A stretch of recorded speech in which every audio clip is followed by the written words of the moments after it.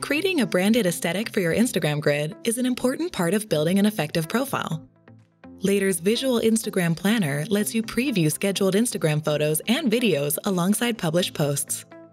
To get started, launch the Visual Instagram Planner from the calendar page. Here, your profile displays just as it would on Instagram. Edit the layout by dragging and dropping scheduled posts to different positions.